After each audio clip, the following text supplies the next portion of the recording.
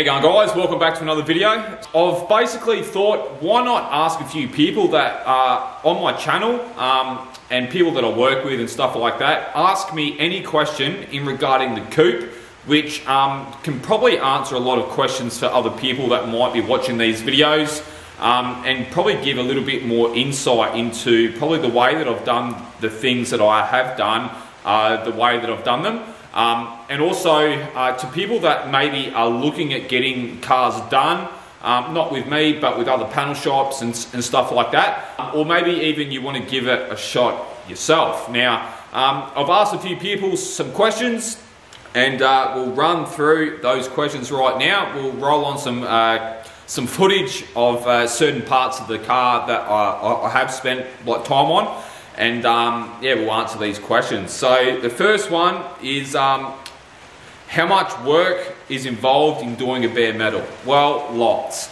If you want to do things properly, um, I do recommend taking a car back to bare metal because um, at least then you can start fresh. Uh, on a lot of cars, especially old cars like this coupe here, there could be a lot of rust underneath the paint and a lot of old school people back in the day, and um, when people do cars up on a real tight budget, they might just bog over like rust. I've seen it happen before. Um, I've had to actually fix a lot of cars that that has happened to.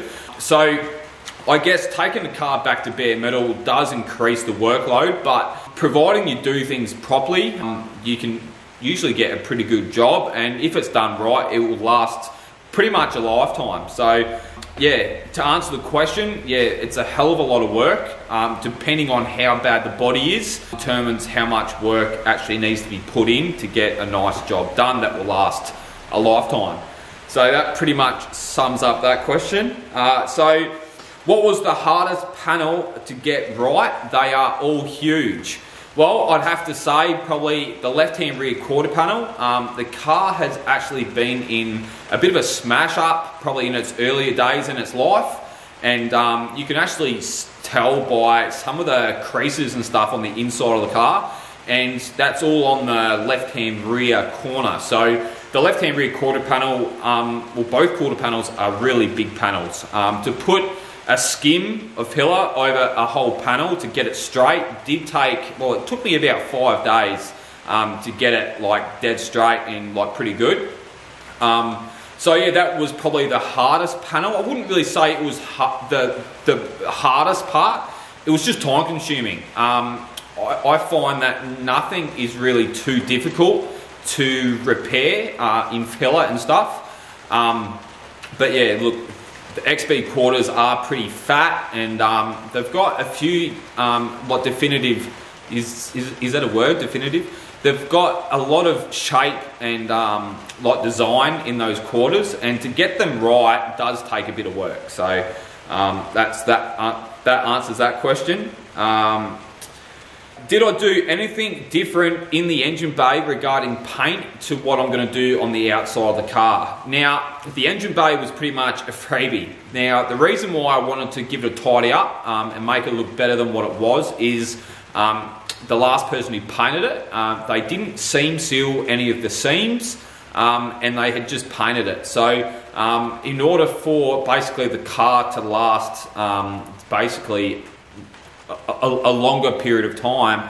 Um, and to be able to drive the car on a wet day and stuff like that, um, having an engine bay that didn't have any seam sealer in it, um, if I didn't repaint it, um, it would have rusted out um, over time from the inside out, basically. So I decided that um, I'd mask up a few things and basically seal the whole engine bay and yeah, basically paint it. So yeah, that's probably the only real difference. Um, probably the only difference is um, I didn't two-pack prime it. So I pretty much just sanded it all, well, I scuffed it all down with grey Scotch-Brite paste.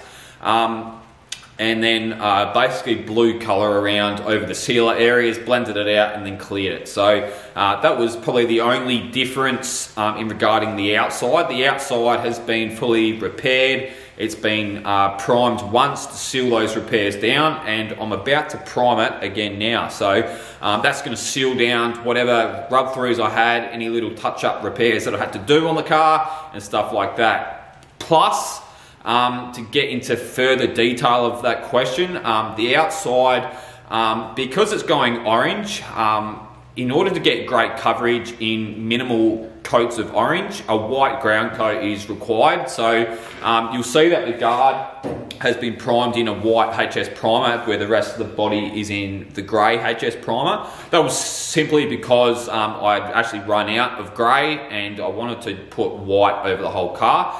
So I don't have to put a white base coat down over the whole car before I paint it orange. So that answers that question. Um, Getting on to the next one. Um,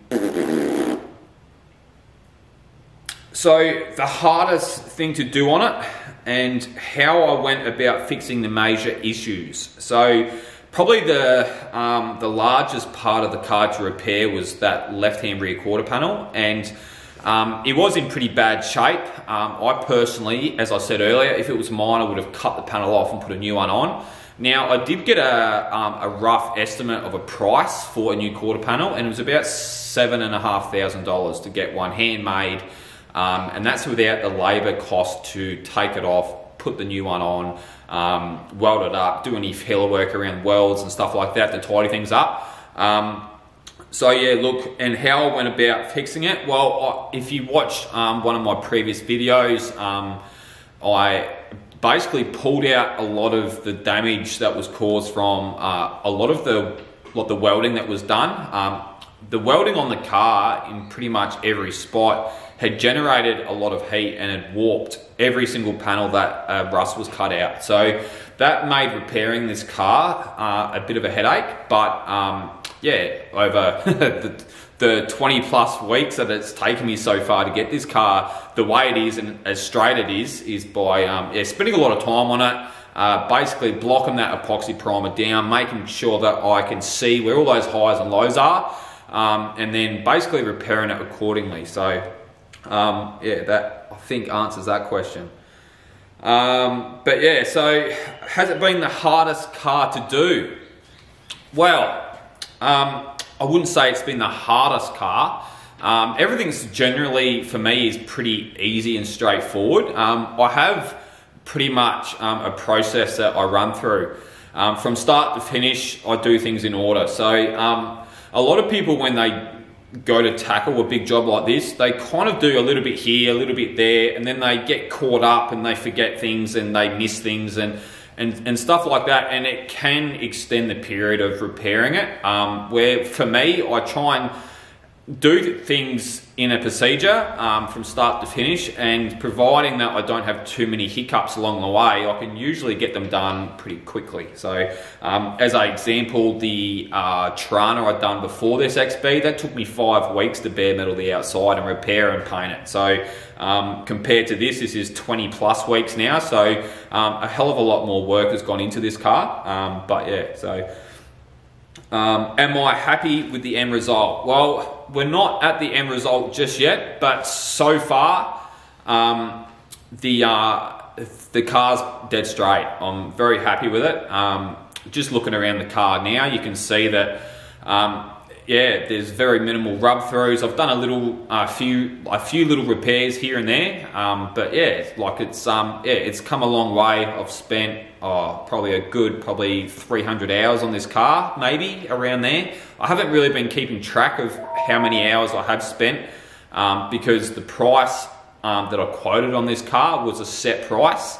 Um, would I have done things differently knowing how bad the car was repair wise? Um, yeah, look, I think um, I would have charged a hourly rate. Um, the time that it's taken me to repair this car and to get it straight has been excessive. Um, I would have hoped to have done this car in possibly 10 weeks, um, 10 to 12 weeks, but um, it's been double that. So, um, yeah, probably the next car that I do will definitely be an hourly rate. Um, getting on to the next question. Um, what's your favourite uh, stage of a build?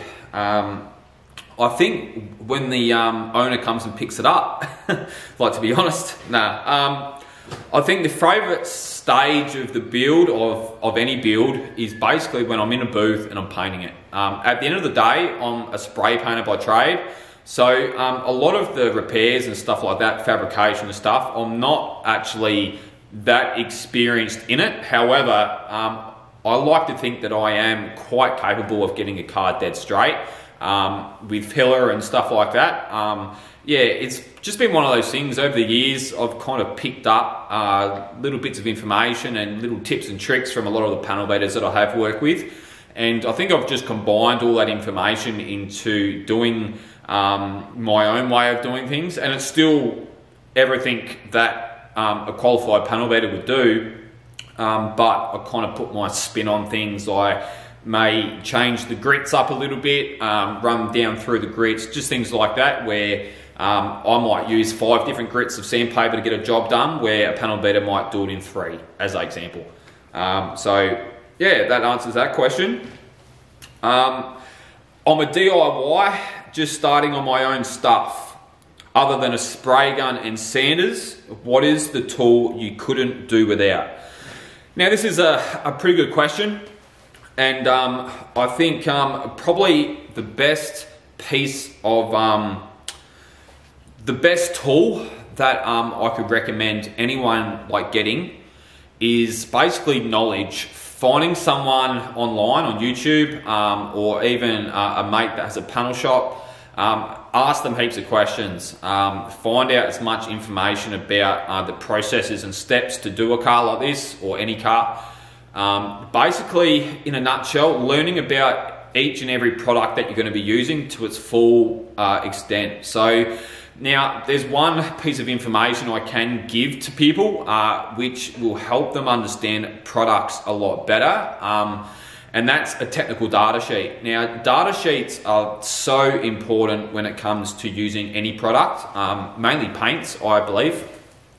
Now, a data sheet, I'll put one up on the screen now and we'll have a bit of a scroll down. Um, now, a data sheet will basically tell you what air pressures, gun setup, um, what size fluid tip and nozzle setups uh, you'll need to use, what air pressures, um, what grits you need to sand, um, uh, the previous um, substrates before applying it. Um, so much information, humidity, viscosity, there's so much that gets told in data sheets, especially like as a example, there's been a guy on my YouTube asking a lot of questions in regarding some DNA paints, and he basically went and bought um, a blood red uh, candy base coat, and he bought um, a silver metallic um, for the ground coat. Now, if he had of read the data sheet, he would have found out that uh, uh, blood red doesn't actually go over silver, it goes over black.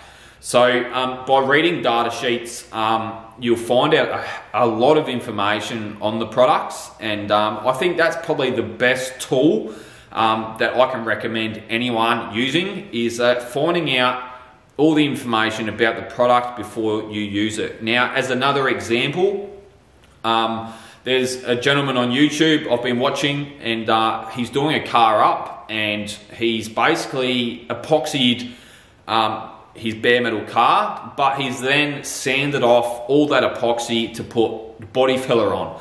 Now, that defeats the whole purpose of putting a epoxy primer down. Um, at the end of the day, you want to be sealing down that steel, and um, by putting your body filler on top of the epoxy primer, um, you're not going to have any moisture and rust issues later on in the car's life. So um, if they were to have read the data sheet, they probably would have found out that sanding all that epoxy off to put body filler down over the whole guard um, was a bad idea. So, um, but yeah, that's pretty much all the questions I've got for you on this episode. Um, so that's pretty much it. So I hope you've all enjoyed this one It's pretty much just a quick little video um, to give you guys a bit more of uh, an update on the coupe. Um, I've basically I've repaired the whole car, uh, sanded down all that epoxy primer, found out where all the highs and lows are, I've basically uh, repaired it accordingly. I've then used the DNA Paints HS Primer. Um, I used the grey primer. Not that the colours are any different um, in regards to build and all the substrates and that. Um, it's just solely colour. So uh, I primed it. I've basically um, taken all the panels off. I've painted the insides of the door jambs, insides of the doors, insides of the guards. I've painted the engine bay, painted the dash painted the whole inside of the car. Um, now it's time, uh, well, it was at that time where I wanted to bolt everything on the car because um, I wanted to start sanding down the exterior of the car. So um, what I've done there is I gapped all the panels up. So we got nice gaps. I can't open anything up. It's all masked up at the moment. But um, so I basically bolted the whole car together, uh, sanded and blocked down the whole car using the big kid blocks. Um, if you want to get a car dead straight, I put money on it that these blocks will be probably better than any other blocks that you've ever used. Um, it's better than the ones that I've used to some like degree. I do use Durablocks um, for getting in uh, nice corners and,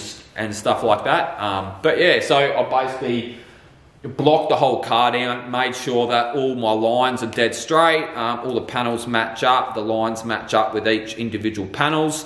Um, now it's time to basically prime it again. Um, uh, I didn't have very many rub throughs. I've done a couple of little repairs here and there just to tidy things up, uh, straighten some lines up and stuff like that. But apart from that, um, it's uh, all been blocked down with 240. I've then got an orbital sander using a interface pad. I've gone over the whole car and um, yeah, that pretty much sums it up, masked it up, and now it's ready for its last four coats of primer. We'll block it all down again, orbit it all down, prep it up, and take it to work and paint it. So appreciate everyone watching this video. Hope you've uh, learned something and got some insight into a lot of the things that I do. Uh, you will take it easy, and I'll see you on the next one.